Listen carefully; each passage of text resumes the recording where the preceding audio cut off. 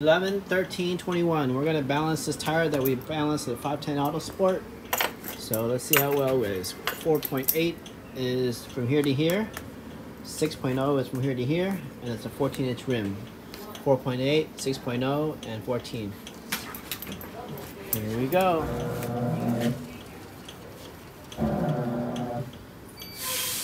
All right, it is zero. Matches the other balance machine. Perfeito.